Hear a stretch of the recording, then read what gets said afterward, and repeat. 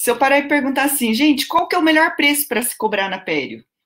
Qual que, ou a pergunta mais educada que eu recebo, professora, é, eu sei que é complicado dizer isso, mas só para eu ter uma base, quanto é que você cobra para uma periodontia? Quanto é que a gente cobra para a periodontia? Esta é a pergunta mais frequente. Para quem já acompanhou alguma coisa da minha história, eu fiz um MBA em administração e o meu marido é doutor, pós-doutor em administração e marketing, e a gente troca muitas figurinhas. Antes a gente brigava por causa do consultório, porque o consultório andava mal administrado. Agora a gente troca figurinha e ele traz muitos insights importantes.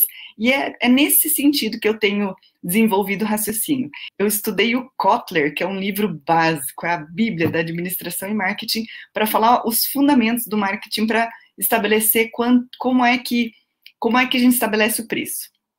E eu vou dizer, vou começar falando para vocês qual é o jeito errado de precificar. O preço errado de começar a precificar é começar a pegar as margens de lucro do setor. Você pegar mais ou menos o quanto mais ou menos todo mundo está ganhando, mais ou menos quanto todo mundo está lucrando, e dizer que isso é método de precificação. Não é.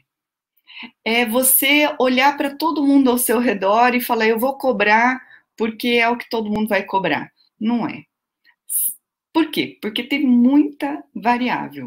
Outro jeito que existe, mas para pério não serve, que é fazer preço por hora clínica e por material. Então, eu já fiz essa conta, tá? E foi um exercício bem interessante para ter clareza dos custos, que é colocar todos os custos fixos e os custos variáveis. Então você vai lá e faz a conta quanto custa o sugador, a gaze, a luva, até chegar à conclusão que periodontia é uma coisa engraçada, porque a gente gasta luva, gaze, três gotinhas de evidenciador de placa, no meu caso, uma porção minúscula de pasta profilática, já que gasta tão pouco, né? Dá para cobrar baratinho, né? Errado. Errado. Não é assim. Você não vai estabelecer lucro pelo, pelo preço por, pelo mercado e você não vai estabelecer preço pelo seu custo. E se o cliente começar a dizer que, que caro esse procedimento, que é porque você não gasta nada, nenhum material diferente. Então, depende daquilo que você vai fazer. Para dizer alguma coisa sobre preço, eu vou contar a história para vocês que aqui perto da minha casa tem um restaurante Madeiro. Para quem não sabe o que é o Madeiro, Madeiro é um restaurante de hambúrguer artesanal e para mim é o hambúrguer mais caro do mundo. Sim, ele é delicioso, mas ele é um hambúrguer que vem num prato, um restaurante requintado, bonito, e segundo meus filhos, assim, pequenininho, né? E como eu moro perto de um shopping, tem um Burger King e tem um Bob's também. Então, tem o sanduíche do Madeiro, que é caro, tem o sanduíche do Bob's, e eu que também moro perto de uma rua movimentada, tem o cachorreiro da esquina, né? Tem um, não é nem cachorreiro, tem um, uma cabaninha de hambúrguer. Minha pergunta para vocês é: se fosse para você escolher, você ia querer ser o, o, o Madeiro, o Bob's ou o Hamburgueria da esquina? Hamburgueria, sim. Eu acho que aquilo era uma barraca de lanche e aquilo ali cresceu e virou uma, uma casinha que, mas a casinha tem um, um sanduíche delicioso. Agora vamos parar para pensar assim. Tem consultório que é consultório madeiro. Consultório madeiro é um estabelecimento chique, bonito, requintado, que serve com talher de verdade, que tem garçom, que tem música ambiente, que tem uma decoração linda e maravilhosa, e eu tenho certeza que aquela comida limpa limpíssima e eu tenho certeza que tudo que eles fizerem lá é de tão qualidade quanto o sanduíche que eu comi de lá. É muito bom. É caro? É caro, mas vale a pena? Na verdade, eu não acho que vale, mas é muito cheio, muita gente go gosta, muita gente acha que vale. E tem o Bob's, que seria mais ou menos o modelo de franquia. Eles têm uma coisa bem funcional, bem rápida, o preço é bom, o serviço é padrão, é muito é, muito agilizado, muito padronizado. Eu sei o que eu vou esperar de lá e ele existe em vários lugares.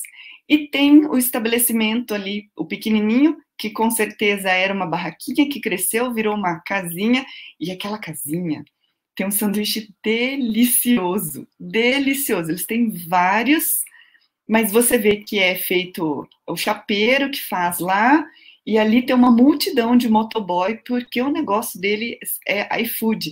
E tem um, um quadro negro lá, a gente vai comer lá, porque como é muito cheio, demora demais para chegar comida em casa e a gente come sanduíche frio. Então a gente resolveu que a gente vai lá, um ambiente mega, mega simples e tá cheio de motoboy lá esperando lotar o seu negocinho para acabar entregando.